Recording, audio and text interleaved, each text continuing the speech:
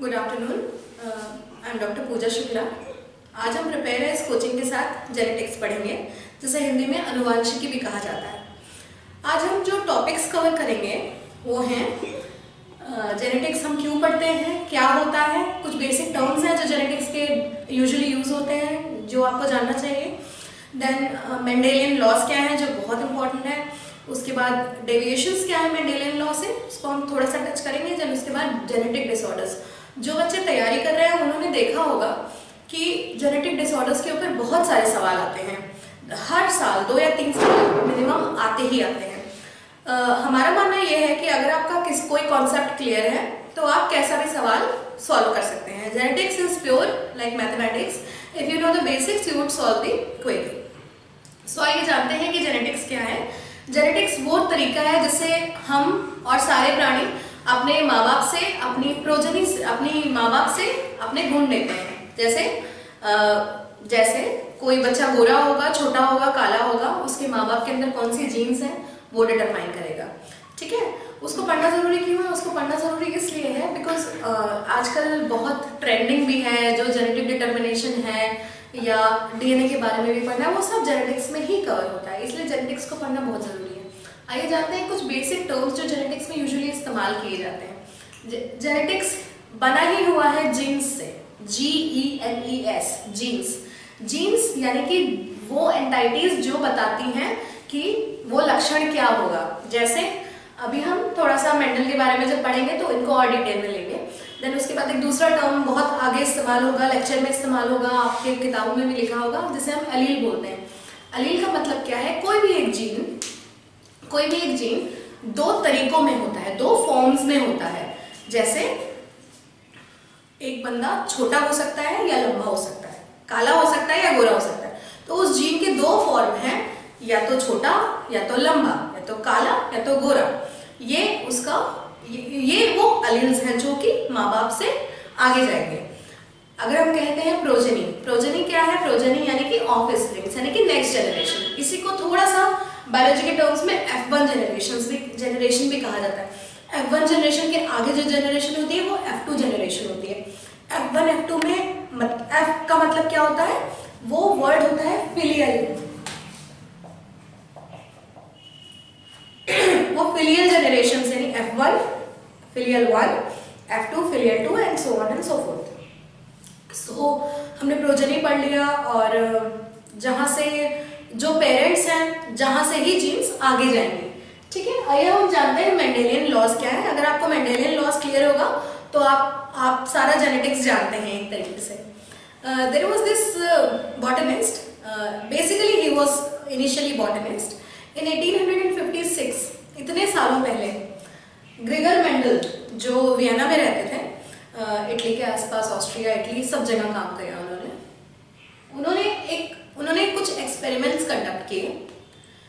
उनका experimental plant था pea Pisum sativum ये भी बहुत क्वेश्चन आता है कि out of these plants which was the Mendelian experimental model Pisum sativum जिसका बायोलॉजिकल नाम है, जिसे हम मटर कहते हैं pea P A pea garden pea उन्होंने गार्डन पी को सेलेक्ट किया और गार्डन पी पे कई सारे एक्सपेरिमेंट्स किए और उसके बाद तीन हो सकता है आप टेक्स्ट बुक में दो पढ़े, किसी टेक्स्ट बुक्स में चार पढ़े या किसी टेक्स्ट बुक्स में तीन पढ़ें। मगर वो सारे लॉज कॉमनली वही है। हम हम इनको तीन लॉस के फॉर्म में जानेंगे, लेकिन कोई कोई टेक्स्ट बुक्स में दो फॉर्म है या चार लॉस के भी दिए हुए हैं। सो मेंडल ने पी को सेलेक्ट किया। पी को सेलेक्ट क्यों किया मेंडल ने? Because pea was having contrasting characters contrasting characters का क्या मतलब है?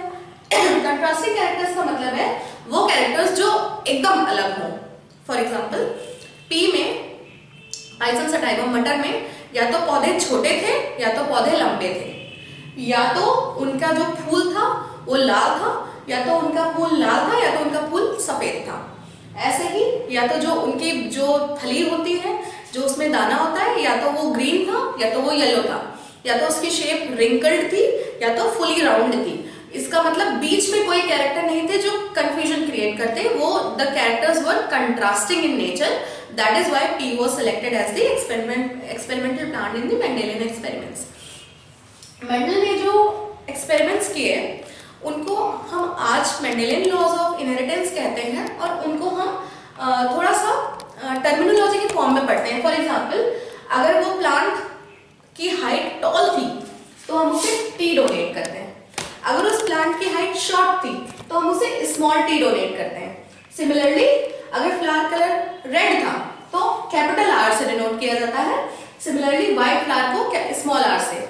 इसी तरीके से पॉट कलर ग्रीन या येलो को capital Y small Y and pod shaped को कैपिटल आर या स्मॉल आर से डिनोट किया जाता है। ठीक है? अब मेंडल ने जो एक्सपेरिमेंट्स किए, उसके उसके बेसिस पर उन्होंने जो पहला नियम दिया वो ये था, जो कैरेक्टर्स हैं एक्चुअली मेंडल के टाइम पे 1800 1800 सदी में इनको जीन्स और एलियल्स का नाम नहीं दिया गया। जब जब मेंडल का काम रीडिस्कवर किया ह्यूगो डीवरीज ने और दो और साइंटिस्ट ने, जब उन्होंने उनका काम रीडिस्कवर किया सौ साल के बाद, तब उन्होंने एलियल्स जीन्स कैरेक्टर्स का नाम दिया। मेंडल ने जब एक्सपेरिमेंट किया, उन्होंने कोई जीन को जीन नहीं, कहीं भी लिखा वो बस ये समझते थे कि कुछ कैरेक्टर्स हैं, कुछ लक्षण हैं।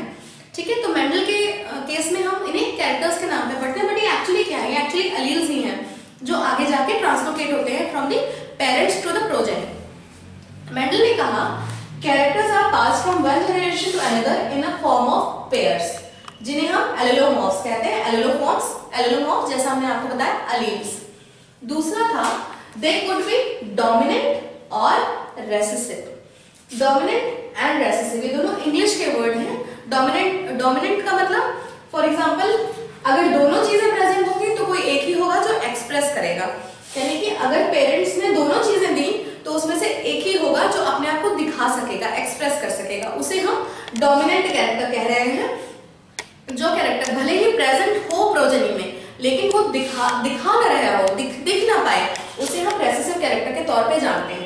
ठीक है? और थर्ड लॉ है थर्ड लॉ है लॉ ऑफ़ सेग्रीगेशन उसे अभी हम बाद में पढ़ेंगे। पहले पहले दो लॉस को डिस्कस करते हैं। पहले दो लॉस को डिस्कस करने के लिए दो कंट्रास्टिंग कैरेक्टर्स को लिया जाए, जो कि है प्लांट हाइट जैसा हमने आपको बताया, सिर्फ़ for the sake of convenience for the sake of studying we will we will take it in the forms of bigger T capital T and small T जो कि प्लांट हाइट को denote करता है। फॉर एग्ज़ाम्पल एक plant था जो कि toll था। जिसके अंदर दोनों डोमिनेंट कैरेक्टर्स थे, जिसे हम कैपिटल टी कैपिटल टी लिखते हैं। ठीक है? और दूसरा प्लांट था जो स्मॉल था। ठीक है? जो स्मॉल था। और वो उन दोनों को उन्होंने क्रॉस कराया। उन दोनों को उन्होंने क्रॉस कराया और उसका जो रिज़ल्ट आया, उसमें उन्होंने देखा कि तीन प्लांट तो टॉल है, लेकिन एक प्लांट शॉर्ट है। ऐसा क्यों हुआ? ऐसा इसलिए हुआ क्योंकि जो टॉल प्लांट था, उसने अपने दो एलियल्स पास किए, उसने अपने दो एलियल्स पास किए। और तीन प्लांट टॉल बन गया है। ऐसे ही जो इस प्लांट था उसने अपने दोनों एलियल्स पास किए और सिर्फ़ रेसेसिव फॉर्म में ही क्योंकि टी एक डोमिनेंट कैरेक्टर है। टी एक डोमिनेंट कैरेक्टर है। जहाँ जहाँ पे भी वो था वो प्लांट टॉल हुआ है ना? वो प्लांट टॉल हुआ। और जब वो कहीं एबसेंट नहीं था only only recessive characters were present, only then the recessive characters were expressing themselves. That is why we get the 3 to 1 ratio in Mendelian law. ये आपका फ़र्स्ट एंड सेकेंड लॉ को एक्सप्लेन करता है, जो हम ये स्क्वायर बनाते हैं, जो हम स्क्वायर बनाते हैं और एलियंस का सेग्रीगेशन दिखाते हैं, इसे हम पनेट स्क्वायर मेथड कहते हैं अगर आप मेंडल मेंडल का तरीका जान लेंगे, अगर आप एक स्क्वायर अपने आप बनाना सीख जाएँगे तो आप कभी भी कोई जेनेटिक डिसऑर्डर का या और भी कोई जेनेटिक्स का सवाल आप कभी गलत नहीं करेंगे आपको सिर्फ़ ये सीखना है कि जो हमारे पेरेंट थे पेरेंट के एलियल्स क्या थे? पेरेंट के एलियल्स को आपको लिख के एक बॉक्स में एक तरफ़ और एक बॉक्स में एक तरफ़ आपको सेग्रीगेट करना और फिर आप समझ जाएँगे कि जब डोमिनेंट होगा तो वो अपने आप को एक्सप्रेस करेगा रेसिसिव तभी अपने आप को एक्सप्रेस कर पाएगा जब उसमें कोई डोमिनेंट एलियल ना हो। ठीक है? अब हम आ जाते हैं मेंडल के थर्ड लॉ पे। मेंडल का थर्ड लॉ था, जो एलियल्स हैं, वो अपने आप को इंडिपेंडेंटली सेग्रीगेट करते हैं। फॉर एग्ज़ाम्पल कोई हम ह्यूमन एग्ज़ाम्पल लेके चलेंगे, शायद वो समझना आसान है सिर्फ़ इसलिए। फॉर एग्ज़ाम्पल एक ऐसा फैमिली है जो थोड़ी मोटी और गोरी है, ठीक है? तो हम ये कह सकते हैं कि शायद उनके अंदर मोटापे की और गोरेपन की जीन्स है, ठीक है? लेकिन ये नहीं कह सकते कि वो दोनों जीन्स आपस में इंटरकनेक्टेड हैं। जो बच्चा उनके फैमिली में मोटा होगा, वो गोरा भी होगा, या जो गोरा होगा, वो मोटा भी होगा, ज़रूरी नहीं, ठीक है? यही मेंडल कहना चाह रहे थे, और मेंडल के, मेंडल ने ये कहा कि आपस में बहुत सारे अलील्स एक साथ रहते हैं। पेरेंट्स में लेकिन जब वो सेग्रीगेट होते हैं जब वो प्रोजनी में पहुँचते हैं जब वो बच्चों में पहुँचते हैं तो उनका असॉर्टमेंट अलग अलग होता है। ठीक है? जैसे आ, जैसे हमें हमने आपको एक एग्जांपल दिया। अब हम इसको मेडल के एक्सपेरिमेंट के तौर पे लेते हैं तो और क्लियर हो जाएगा। जैसे दो कैरेक्टर्स हैं हमने आपको बताया कि जो पॉड है वो ग्रीन भी हो सकता है रिंकल्ड भी हो सकता है। येलो भी हो सकता है राउंड भी हो सकता है लेकिन डोमिनेंट कैरेक्टर क्या है? डोमिनेंट कैरेक्टर ग्रीन होना और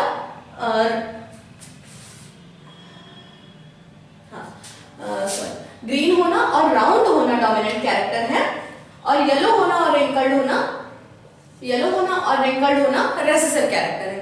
ठीक है ये कैरेक्टर्स अगर आपस में एक साथ हैं भी तो भी वो असॉल्ट इंडिपेंडेंटली ही होंगे। जैसे जैसे कि कोई अलीन्स थे जो राउंड थे और ग्रीन थे।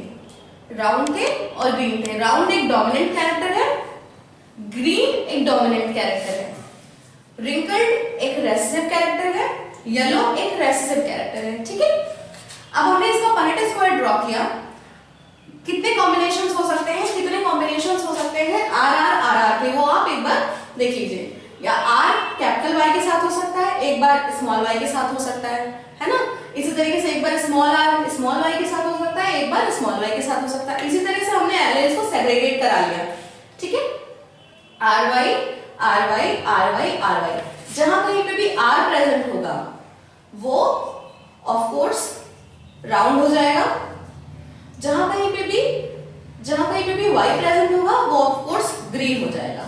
उसी हिसाब से आप देख लीजिए जहाँ जहाँ पे भी कैपिटल आर कैपिटल वो सारे प्लांट्स राउंड रहे, ठीक है? वो सारे प्लांट्स राउंड रहे। जहाँ जहाँ पे भी capital Y capital Y capital Y था, वो सारे प्लांट्स ग्रीन रहे, ठीक है? तो हमें नाइन प्लांट्स ऐसे मिले जो राउंड एंड ग्रीन थे, जो कि डोमिनेंट कैरेक्टर है सारे में यानी कि सबसे ज़्यादा वही दिखे। बट कुछ प्लांट्स ऐसे भी थे जो कि राउंड थे, जो कि डोमिनेंट कैरेक्टर है बट येलो भी थे।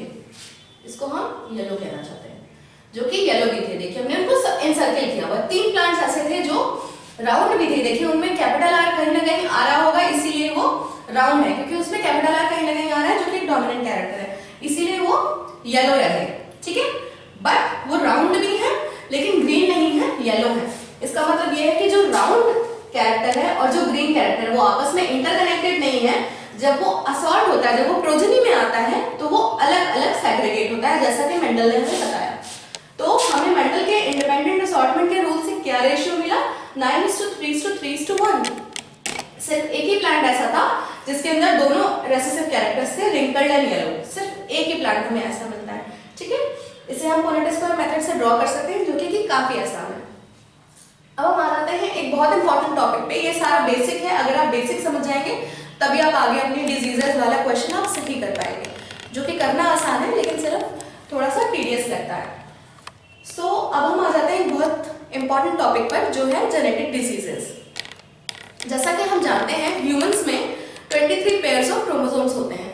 ह्यूमंस में 23 पेयर्स ऑफ़ क्रोमोसोम्स होते हैं जिसमें से 22 ऑटोसोम्स होते हैं and one pair is the sex chromosome यानी कि 22 तो ऑटोसोम्स है जो कि कॉमन है। मेल में भी वही 22 फीमेल में भी वही 22 हम जानते हैं कि कई साल पहले कुछ सालों पहले ह्यूमन कैरियोटाइपिंग हो चुकी है। पूरा ह्यूमन जीनोम सीक्वेंस्ड है। सारे क्रोमोसोम्स की पिक्चर्स आपको मिल जाएँगी गूगल पे। आपके टेक्स्ट बुक्स में भी। किस क्रोमोसोम पे कौन से जीन प्रेजेंट है ये भी हम लोग डिटरमाइन कर चुके हैं। पूरा का पूरा ह्यूमन जीनोम एलुसिडेटेड है। सो so, हमारे 22 जीन्स तो ऐसे हैं। 22 पेयर ऑफ़ क्रोमोसोम्स तो ऐसे हैं जो ऑटोसोम्स हैं। जिनका किसी पर्सन के सेक्स से कोई लेना देना नहीं है। लेकिन जो लास्ट पेयर है, जो ट्वेंटी थर्ड पेयर है, या तो वो एक्स वाई होगा, या तो एक्स एक्स होगा, है ना? अगर वो एक्स वाई होगा तो वो पर्सन मेल होगा, और अगर वो एक्स एक्स होगा तो वो पर्सन फीमेल होगा। ये बहुत बेसिक इंफॉर्मेशन है, आप लोगों ने छोटे क्लासेस में पढ़ी होगी। इसी के लिए इसलिए जो जेनेटिक डिजीजेस हैं, वो दो तरीके की हो सकती है। हो सकता है वो उन क्रोमोसोम्स से आती हो, जो ऑटोसोम्स हैं हो सकता है वो उन क्रोमोसोम्स से आती हो जो सेक्स क्रोमोसोम्स से यानी कि इसे एक्स लिंक्ड भी बोलते हैं, इसे वाई इसे सेक्स लिंक्ड भी बोलते हैं, इसी को भी सेक्स लिंक्ड भी बोलते हैं। ठीक है? अब हम लोग ने पढ़ लिया है।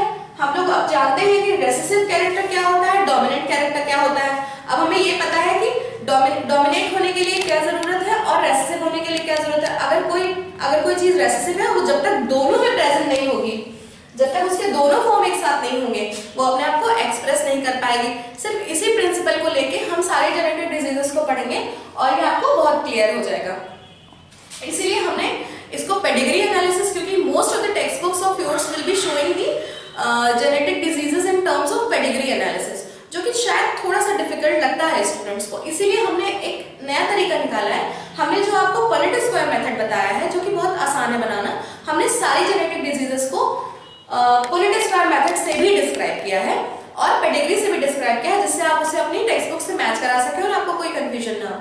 लेकिन आप उसका पहले पनेट स्क्वायर बना लें जिससे कि फिर आप उसकी पेडिग्री बना लेंगे तो आपको कोई प्रॉब्लम नहीं होगी। सो so, हमने जैसा आपको बताया ऑटोसोमल ऑटोसोमल भी हो सकती हैं और सेक्स लिंक्ड भी हो सकती हैं या एक्स लिंक्ड भी हो सकती हैं। ठीक है?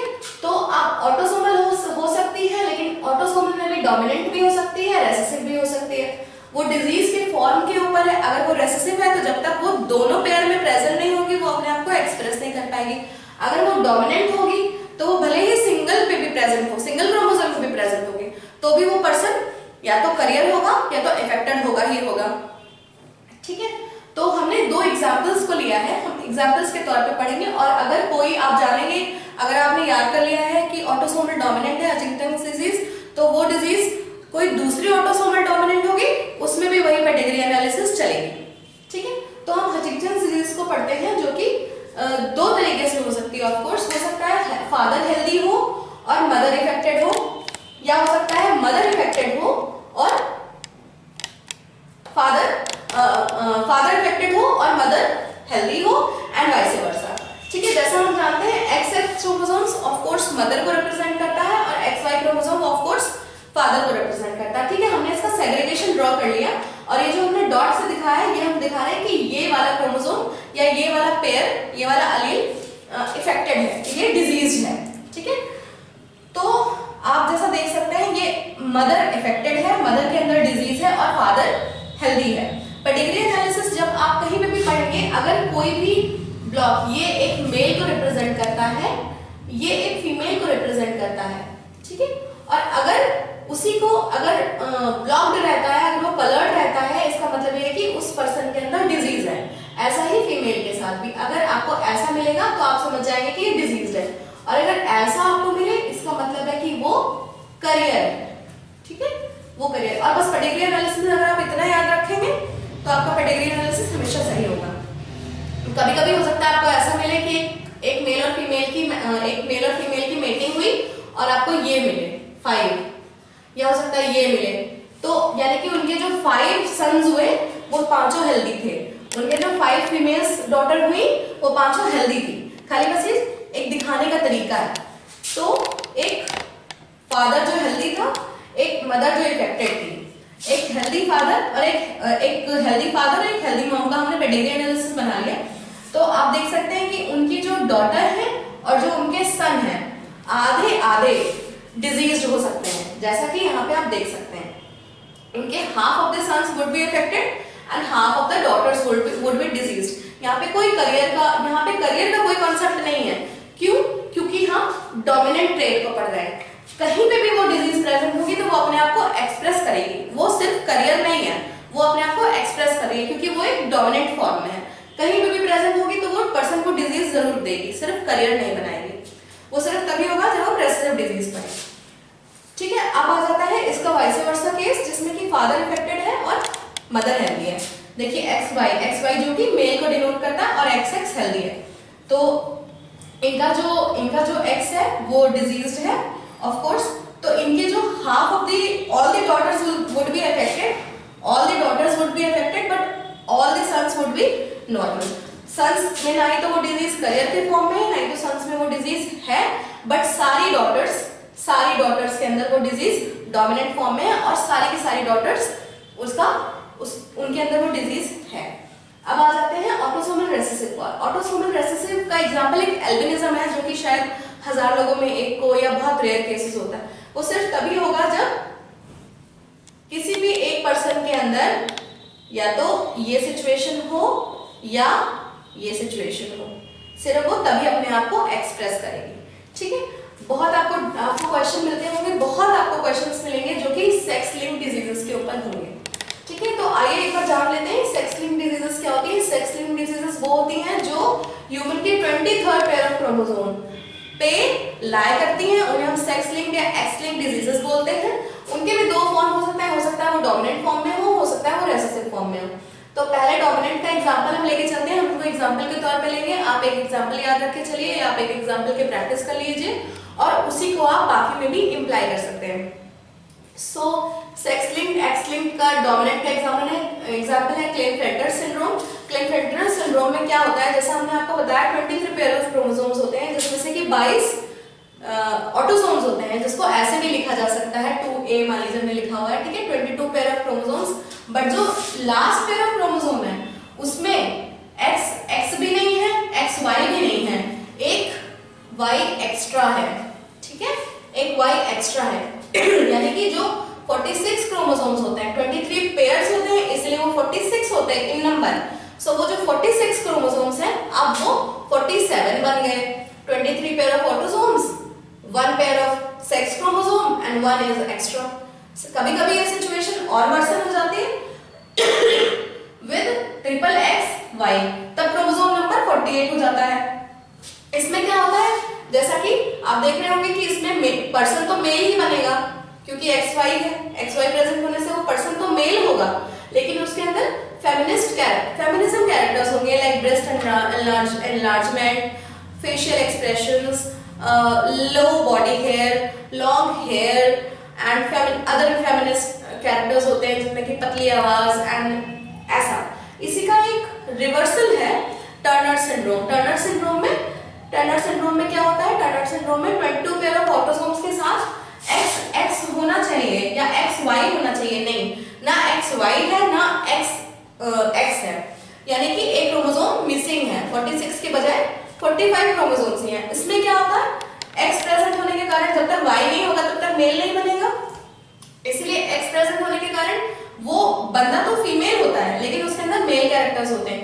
और ऐसा ही इसका मतलब है both of these would be like non reproductive throughout their years and until and unless there is surgery and everything there is no cure of these diseases so अब हमने एक्स लिंक्ड डोमिनेंट डिजीजेस पढ़ी, हम आते हैं x linked recessive पर, जिसमें एक example बहुत क्लासिक एग्जांपल है कलर ब्लाइंडनेस एंड हीमोफीलिया के both of them belong to the same class and if you study the pedigree analysis of one you will be able to do both of them so in my lecture I am going to discuss only the colour blindness and which also implies to haemophilia a okay so ये जो colour blindness है, इसमें भी दो case हो सकते हैं. या तो फादर करियर हो एंड हेल्दी मॉम हो या करियर मॉम हो एंड हेल्दी फादर हो ठीक है? आई थिंक ये करियर फादर की जगह इफेक्टेड फादर ही होना चाहिए क्योंकि सिर्फ़ फीमेल्स ही करियर है। सो so, जब फादर में डिज़ीज़ होगी तो उनका जो एक्स वाई है वो इफेक्टेड है। जो मदर का एक्स एक्स है वो नॉन इफेक्टेड है। सो so, जितनी भी डॉटर्स बन रही हैं जितनी भी डॉटर्स बन रही हैं उनके अंदर ये इफ़ेक्ट जा रहा है, ठीक है? उनके अंदर ये इफ़ेक्ट जा रहा है, लेकिन ये रेसेसिव कैरेक्टर है। जब तक दोनों में प्रेजेंट नहीं होगा अपने आप को एक्सप्रेस नहीं करेगा। इसीलिए फीमेल में एक्सप्रेस नहीं हो रहा है बट फीमेल में एक्सप्रेस ना होते हुए भी वो फीमेल्स के अंदर है, वो फीमेल्स करियर फीमेल्स हैं। आगे आगे कभी भी अगर हेल्दी मेल से भी उनकी मैरिज होती है तो यही चीज़ आगे चलेगी। यही आप यहाँ से भी इसको जोड़ के आगे हो सकता है। आपकी टेक्स्ट बुक में ऐसे दिया हो सकता है क्वेश्चन में ऐसा है। आप इसको ले सकते हैं। सो जब फादर करियर होगा मॉम हेल्दी होगी तो all the daughters would be the carrier and all the sons would be healthy बहुत बहुत इंपॉर्टेंट क्वेश्चन है, आप इसकी बहुत प्रैक्टिस करिए। देन सेकेंड देन सेकेंड तरीका ये हो सकता है, हो सकता है मॉम करियर हो हो सकता है मॉम करियर हो एंड फादर हेल्दी हो। अगर ऐसा होगा, अगर ऐसा होगा तो क्या आपकी पेडिग्री बनेगी?